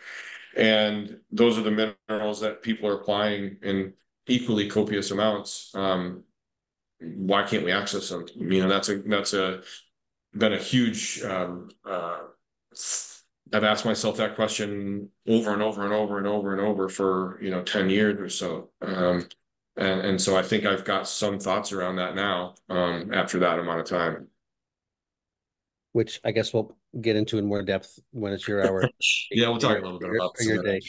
sure. Yeah. Sorry, I was just wanting to drive with this point of I think the you know, making these teas and then putting the minerals into those teas is something that is a way that people can make their own sprays and and feed their plants anywhere on the planet. Um, a lot of people that are in the West, you know, here in the States, in this, you know, regenerative biological ag movement are really excited about this new company and all these different sprays they're applying and they're taking all these tests and they're spraying this and spraying this and spraying this and spraying this. And I don't see necessarily significant beneficial responses, but it's one of those things. It's a fad, and it'll be a fad for a couple of years. Well, but right, and and and you and you and you you know two sentences back, you hit the nail on the head. If it's not moving the needle in the field, then you need to look elsewhere. You need to move on for whatever it is, because there are ways that, that we're seeing just insane things happening out there in the in the field. Like you know, mind bending things, you know, in terms of plant growth and development, um, plant rejuvenation, and restoration, you know, tree health, you know, things that come back from God's doorstep. I mean, it's yeah, there's there's a lot of that's going on out there, and if you're and if you're the stuff you're not, you're, the stuff that you're using isn't working, you know, you should definitely look elsewhere. Is what I would say, big time. So, want to emphasize the uh, appropriateness of this foundation of partnering with biological systems. And yeah, and then in many cases, the issue is people don't know what they they don't know what success looks like because if you've only ever seen sick plants, you don't you don't know what you're missing. And yeah, I don't think any of us do. really. I mean, maybe we have a we see glimpses of it, but mostly we don't. We don't really have any idea what the plants are capable of. Yeah.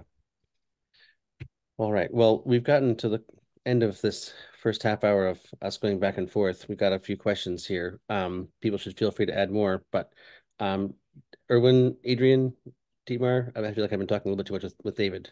You have any any other comments you want to share or points? No. All right. All right. So uh, we'll start with the this first question here. Did I hear correctly that you terminate crops in spring with surface compost? How does that work? How is that effective? Um, yeah, I think you showed the you showed it, but it might might hurt. Wouldn't hurt. Yeah, no, it, it's not. Uh, we it is a composting uh, method, is what we call it, but it is not working with compost. We call it. It is a German term called Flächenrotte, which translates to surfaced composting. So what you do is you compost, but it's not really composting. It is uh, building down and building up again the organic matter that is the cover crop uh, on the top layer of your soil in contact with fine clay soil particles. and that is what yeah what is translated to surface composting or surface yeah how do you say i don't know do you have a better term then it's Well, still up for I mean, just to explain what's happening, because it technically is a composting process, but people don't yeah understand what compost. I like to say, where in nature do you see, you know, piles of organic matter brought together in a big, massive pile, and then turned over a few times and then spread back out again? That's not how nature does things. Nature drops the dead plant material there and digests it in situ, and call, call it cold composting or something. So what you're doing is you're coming through with one pass, and you're basically turning in. You're you're you're you're cutting. You're you're spraying onto the onto the to the plant that's growing.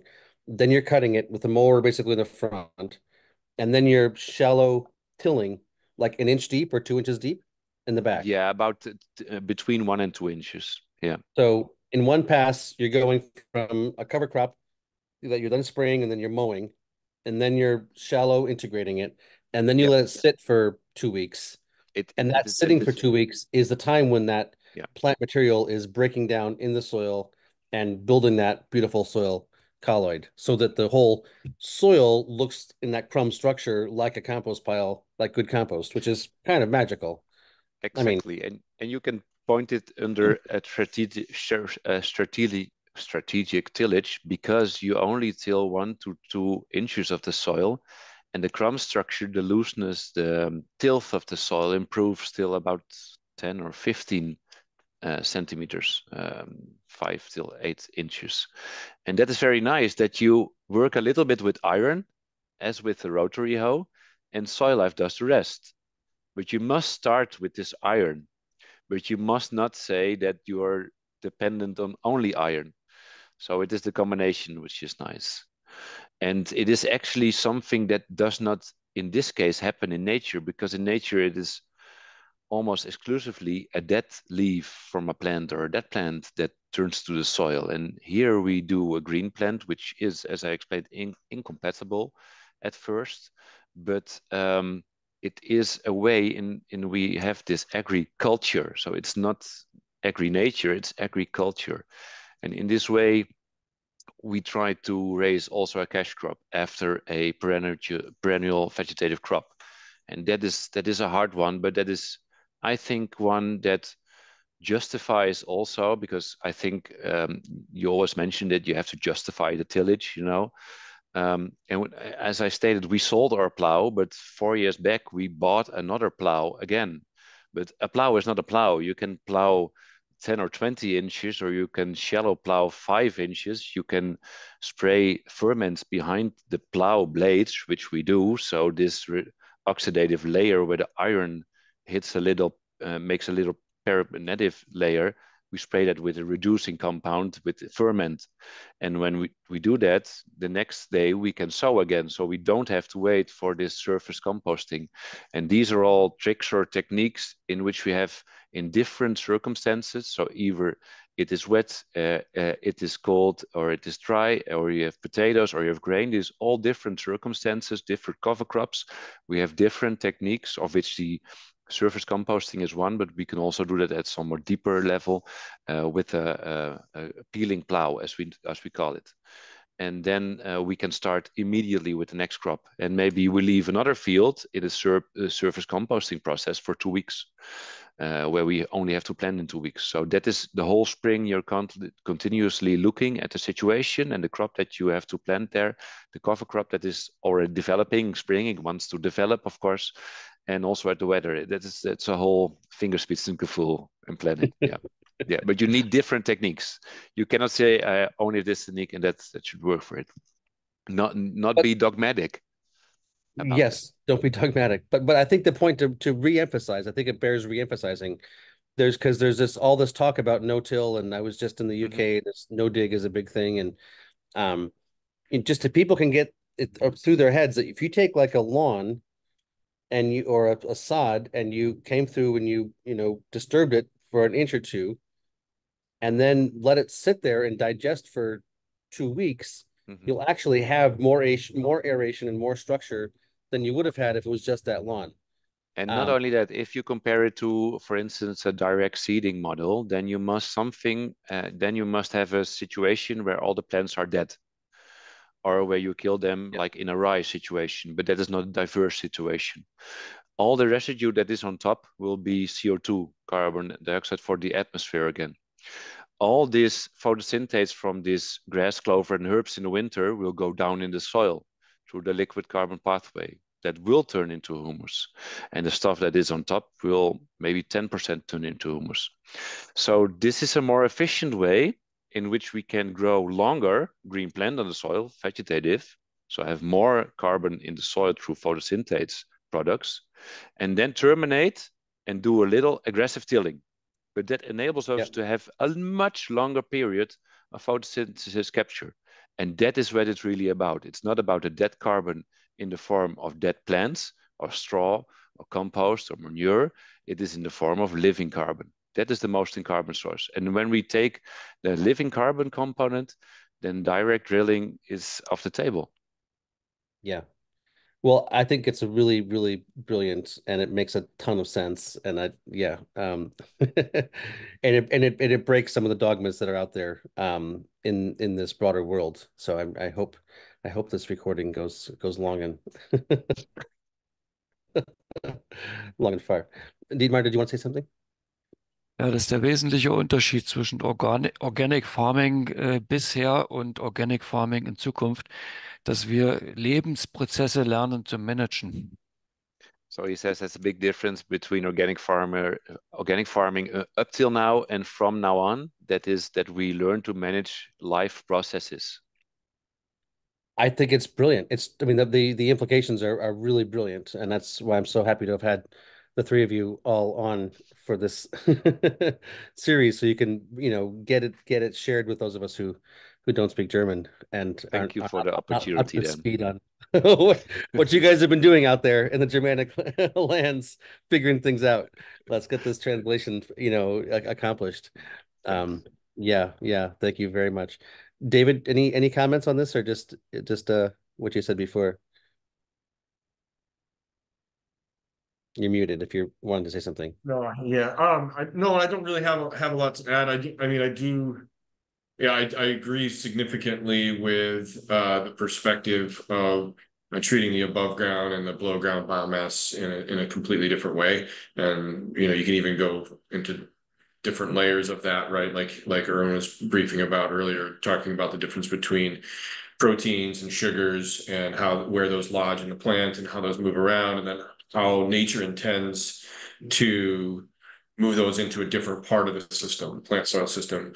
Um, and oftentimes these sorts of things are, are neglected when you're, you know, using X, Y, or Z. And, and then, you know, to the point about dogma, um, very against all of it right? Um, I've seen so much overlap in in various uh, progressive ag systems. It's just it just it's laughable to me. I've been around for too long uh, to to see, you know, till you know, no till till or you know, organic or regenerative or um, uh, you know, even conventional versus organic, frankly, you know, or biological or biodynamic or permaculture or whatever. I mean, it, you know, we're all trying to grow healthy food, and and so um, I think it's it's better to to to uh, you know, it's happy, it's fine to have your own little um, uh, approach, I think, but uh, realistically, the the larger effort at hand is is more about coming together and and work utilizing across different platforms um, a variety of different techniques and so on.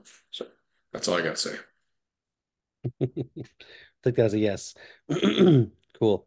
Um, all right, I got a few more questions here. Uh, Noman says, Erwin, why are you not using a no-till planter? You mentioned something about incompatibility with residue. I've never heard of this. Can you elaborate, please? We might have already touched on that, but yeah, I don't know uh, if I said uh, incompatibility with uh, with uh, residue. No, I think they are compatible with residue. That's why they're a no-till driller. But um, no, we have uh, two different sowing techniques. One is with the discs that can be with a little residue, but not really no-till. We don't do that. And the other is simply a tine seeder that can go in uh, a field that is tilled. So if we stubble plow or sh shield plow, very shallow, then we rotovate and till uh, a drill with a normal driller, um, which is for us also um, an advantage that we don't have to buy these really expensive, heavy machines.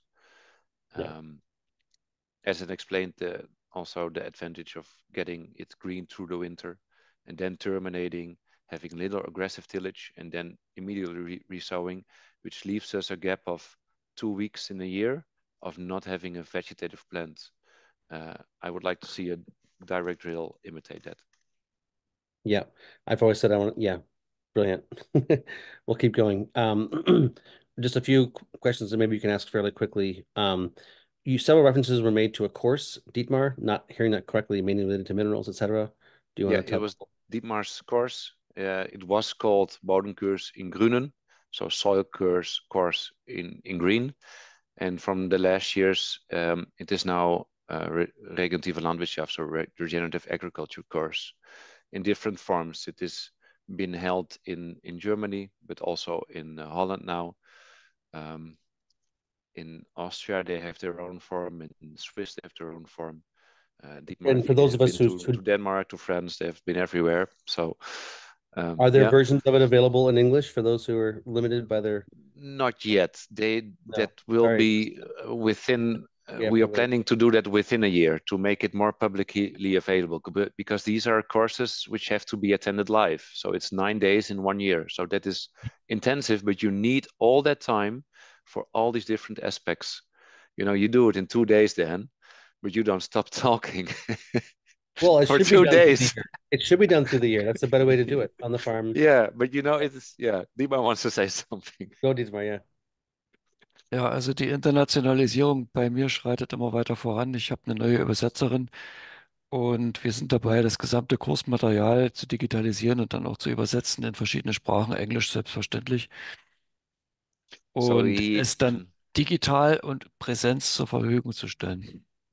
So so he is uh, busy being more uh, internationally, and he now has a new translator uh, woman he found, which is busy with translating uh, his book, which is almost finished, and his course uh, in different languages. English, of course, the first to make it more publicly and online available. Brilliant. Great. So not yet available, but soon will be. This is great. in the uh, works. Chris asks, how long have you been saving your own seed, thinking about epigenetics, and how effective are your seeds in different farm contexts? Yeah, we, we have not been saving a lot of our own seeds of the vegetable crops. We only save our own seeds for the potatoes. And there we see a lot of ep epigenetic um, uh, advantage uh, in the case of, uh, for instance, Rhizoctonia root rot uh, resistance. Um, only problem is if it gets epigenetically too diverse from the original variety, in the case of a potato, then the government will check every two years they take samples of your variety if it is still comparable to the original one. Otherwise it is a mutant as they call it and you cannot sell it as that variety. And for the seeds no that works only with um, how do you say stock seed so the company grows the the stock seeds which is the the, the how do you say yeah the, the very high propagated in a greenhouse seed and you multiply that and they sell it for you. So I only work on contract for these seed companies and they work with stock seeds. It's not that I have my own varieties. And even if I wanted to, because I asked, for instance, in green beans, uh, if I said, can I save the seed from my own if I need to plant next year again for you guys and produce seed for you? And, and there I did it one time. But for instance, with radish, it's absolutely unthinkable. They want controlled greenhouse uh, circumstances to produce the stock seed and then give it to the grower they, that can only multiply it once yeah so that is something to work on still because sometimes you get stock seed which does not have the right energy that you know your seeds will have after it has been at your farm for a year um, and that is a problem we, but that it's not in the system yet so we need to basically start hiring you to do production for uh, smallholders and not big corporates, so you can have different maybe different maybe. regulations. yeah, if you can add a considerable size to the to the contracts, then that's okay. Then. Yeah, well, I think I think probably you farmers would pay. I've been saying for a long time. There's a big hole. There's a few holes in the system, and one of them is high quality seed. Yeah. So if we could figure that one out, I think that would be a really really big piece of the puzzle. Yeah. Um, I think I think some people would be happy. One of the comments was that last year they called. They said we don't have to heat treat your beet seed because the germination is already okay. I said, yeah, okay. Why would you otherwise treat it? they said we, we always treat it, but this time we tested and it's it's already above uh, level. So yeah, thankfully people got untreated, unheat treated beet seeds. yeah. All right, I got one from Eric Nordell. Um, please ex explain a little more about your interesting use of strategic tillage. We also see a winter crust form in our winter cover crops. Is the goal of the rotary hoe to simply crack the crust or to till the surface into fine aggregates? And do you no. see a way to eventually eliminate the development of winter crust biologically? Yeah, that's a that's a good question because um, uh, on the first part of it, I see it just as aerating the underlying layer, so not really making the upper crust all in small aggregates because that will make a crust really soon again after rainfall. Um, it is just to aerate the layer underneath it, so just cracks are enough. Also, that can be done with one tillage pass. If you want to make it fine, you need more tillage passes. On the second one, can you, uh, in the future, if your system works really well, have this crust not be formed again by good soil biology? I also asked Dietmar that, and uh, I don't know, he was not that pessimist, uh, uh, optimistic about it, which I always thought, oh, this is a temporary measure, but he said that this will probably be uh, in our current agricultural system uh, um, needed for a long time, just because of how the rest of our agricultural system evolved with the use of the machines, the crops that we use, and and everything. But maybe Dietmar uh, can explain. Dietmar, kannst du erklären? Ich habe dich gefragt, wie lange wie viele Jahre brauchen wir noch die Rotary-Hoe? Und da hast du gesagt, ja, das brauchen wir noch äh, einmal, weil das, da sind wir noch nicht so, so schnell frei von. Äh, und jetzt kommt die Frage auch, ist da eine biologische Alternative für die Rotary-Hoe äh, zu erwarten? You're muted, Dietmar. So, jetzt? Ja. Der Kompost selber ist die biologische Alternative. Wir hatten ja dieses Jahr Bedingungen, wo man nicht fahren konnte und da waren große Mengen Kompost eine Lösung, weil ich da viel weniger Fahrspuren mache. So he said uh, the compost is here the solution. This year we had uh, circumstances where it was so wet that the rotary hoe could not drive. And we applied in certain farmers' fields a high dose of compost tea, and there we see a good soil structure aggregation. Es wäre wichtig, nicht nur auf eine technische Lösung fixiert zu sein, am besten beides kombinieren. Yeah, so don't uh, stick yourselves to just one technical solution, but focus on more than uh, the technical one, ook the biological one. Okay. All right. um, Sue asks, uh, what are your biggest challenges you've had um, for, for pest problems? And do you get any? Yeah. Yeah, one of the biggest we had was the wireworm in potatoes. And um, if you have high quality seed potatoes, you cannot have any holes in them, of course. Also for consumption potatoes, people don't want that.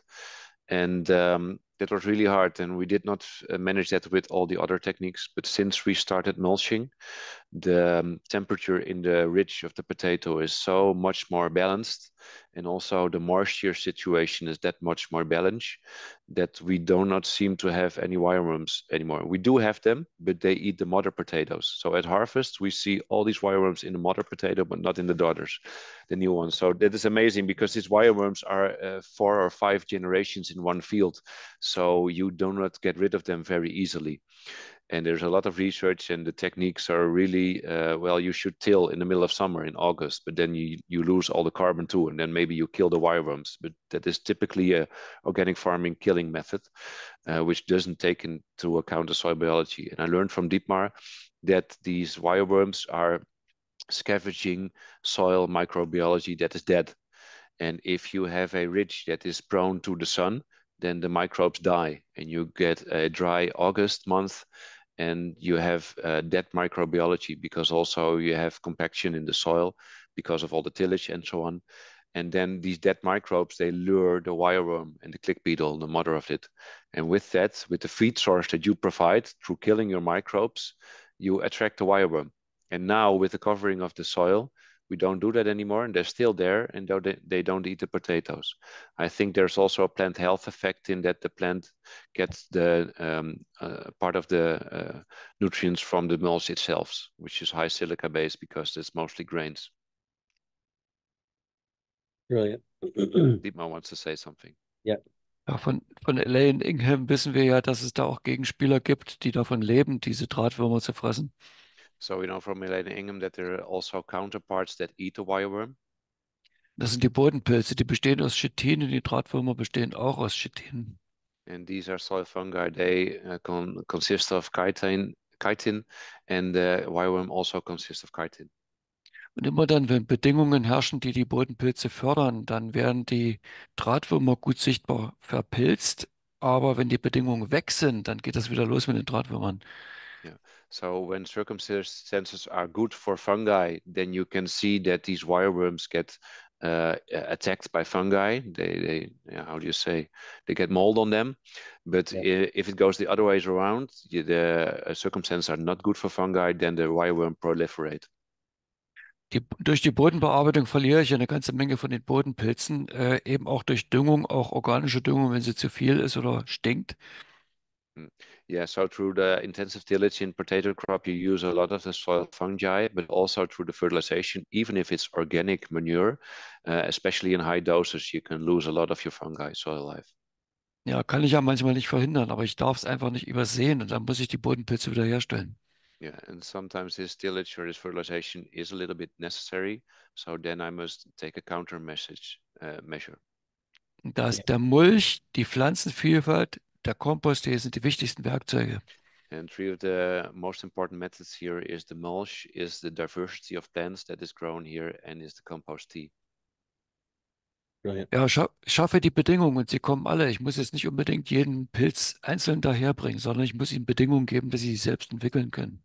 I don't have to bring all this in all this biology. I just need to uh, create the circumstances that are right for them. Yep. That that's why I call my course Principles of Biological Systems. It's just about creating a reality where the microbes are happy. And then if you can do that, you can take a nap. Yep. If you want to. All right. I've got a couple of questions here that I think are just good things to review because you covered them and I think they've been covered before, but they bear repeating. Um, so um, let me see. Chris asked, I think you talked about what the starter culture is. Um, review structured water. I think we talked about that with um, with Adrian previously. And uh, metabolite compounds, what does that mean? Um, so I mean that the herbs uh, which we use as a cover crop have more secondary metabolites and aroma structures. Like they can be actually herbs like um, how do you say parsley or uh, uh, what's the other one? Uh, cilantro. I was looking Mhm. for the English word. Um, those are the extreme examples that we use for the aroma in our kitchen. But all these other plants, the the can also be like a sunflower or a flaxseed. They have all these special um, um, fats, uh, secondary metabolized vitamins, which are higher in that category than is in the legumes and in the grasses. I don't say don't they have nothing, but all these categories of plant families have certain um, aspects more than the other, and in that way they uh, enhance each other. so you're taking the med- the plants that we would Yeah. call more medicinal plants that I've generally called forbs. I think. Forbs, herbs, Um, medicinal plants, weeds. Yeah. Yeah, yeah. That category. Yeah, Dietmar. Alle Pflanzen, die behaart sind und alle Pflanzen, die starke Aromaöle haben, die sind am besten geeignet. Yeah, so the best plants in this category are the ones with strong trichomes or hairs, and the ones who have a great uh, intensive smell. Great. Very simple. And this Godfrey asks, what are alternative plants uh, for seaweed to make these herbal ferments? For some that don't live close to the ocean. That's exactly what we're talking about right now. I These don't know um, the No? you you get um, I don't know the the compounds in seaweed if you can um, imitate by that by a land plant. I don't know which one, but I don't know David or Dietmar, maybe you know.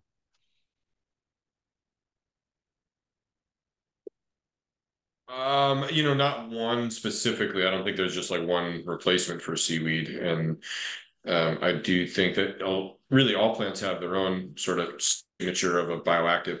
Um, I've seen really good response from a combination of different uh, species. Um, we do see a lot of people using alfalfa actually um, for the triacontanol. Um, uh, you know, but I've seen folks use really all the medicinal herbs and um, culinary herbs in various ways. Um, you know, everything from biodynamics, flowers, um, you know, even weeds, frankly, um, when you actually dig into uh, weeds themselves and the bioactives that are contained within weeds um, and minerals content and organic acids and some of the others that are contained within weeds, it's remarkable um, how nature is actually trying to help you when she plants the weeds in your field, unfortunately. Um, yeah. We call them weeds. I call them nature's cover crops. Um, yes. it's a yeah, Dietmar. Wenn man gar nichts hat, dann geht auch Haferschrot zusammen mit der Luzerne ganz gut. So Aber Hafer mit Spelzen, nicht ohne. Mhm. So when you have nothing, you can use oats with the hull on. That's important. Uh, together with what was the other thing you said? Alfalfa, Luzerne. Yeah, together with uh, alfalfa. as a as a raw ingredient for your for your it's going to be put, put in the bag and be dunked in the tank. to make a ferment that maybe has the same properties as a seaweed ferment. Oh, but seaweed specifically. Okay. Yeah, that was the question, right? Yeah. I think in general the, the concept is the diversity that you can get of the aromatic and medicinal plants, flavorful plants in your bioregion. That's really what the idea is. It's not about, you know, if you can't get seaweed, you can't get seaweed, but you got plenty of if nature should be producing those things. You Yeah. just have to know where to harvest them. Yeah. And unstructured water, do you have anything you want to say about what it is or just I, I, I looked into it. I think there are about 14 different structuring techniques. I'm not saying devices because there are probably thousands, but techniques uh, from um, reverse osmosis to thanking water, which are the most extremes, the one we can imagine, the one we can't. You know, I have uh, different forms of flow forms. I have different forms of ener energetic devices. I have different forms of um, osmosis devices, magnetizing devices. So that can be anything, but I think you should do what feels good for yourself. look and if into it? that's just thanking water, then that's okay too. Yeah, I think Adrian had a good, I thought he explained it to some Yeah. well, well in his presentation for those who want to look Yeah. back, look back into that. All right. Um, we've got a, a few more questions here. I think they've been mostly covered, but um, we got three minutes left. Does anybody have any final things they want to say before we end our end our time together? Nope. No uh, moments of inspiration. The the moon must be moon must be low right now. Um, all right. Well, um, I, I'll just I'll do a couple more questions then in the last few minutes. Um, Dina asks, uh, cost effectiveness question. What is the optimal size of the farm and crop variety to start experimenting with and implementing biodynamic principles? I'm not sure that there's any optimal size. No, I don't. I don't know. Um, it, it would be, you know, um, it, it is better if you can do this on a small scale to test. Uh, However big your farm or your garden is, uh, start on a small scale. But the reality here is, and that is also my personality. I, I, if I feel something, um, I must do, then I must do it uh, with all my intention, and I cannot do that as a researcher on a small scale and say, okay, it is the end of the day, I go home. I go with it uh, with everything I have, and that is uh, more risky. But I think with that intention and motivation, you come further faster. But um, it gives it can give some people more stress um, because it is the, we are biodynamic, and the only constant factor every year is, is that every year everything is different because we do a lot of uh, stuff, and not everything works out fine, and then it gives a, a stress. And I'm not saying everyone should do that, but I think it is good that we're doing that and that it is it is not subsidized. So if I don't produce seed, I don't have any money um, we eat always because we produce food, but you know we cannot uh, renovate the house and, and whatever we want with the family, uh, which is the most important for me. So uh, my uh, internal motivation is very high to get this system as far as it goes, and I think we are only at the beginning of the road. Uh, we have seen that we can work with very little input. We have seen now that with a very few input, we can go a lot faster and a lot further. And uh, I, I don't know where this will take us, but this is a road for which I do not see an end uh, yet. Beautiful, beautiful. Yep. the more you know, the more you know, the less you know. But uh, yeah, exactly. But you're already, you know, many many steps ahead of where of where a lot of people are. So thank you for sharing this reportage from the cutting edge. It's uh, it's really beautiful. Thank you, and thank you all because it is because this I can say this is because this connection with these partners and inspirators and a couple of you are on the list that I I listed. It is with each other that you come farther, uh, further, and with this connection that you really um, um, sur surplus each other, so to say. Great. All right. Well, thank you all. One another wonderful presentation, and we'll see people again next week. Thanks. Bye.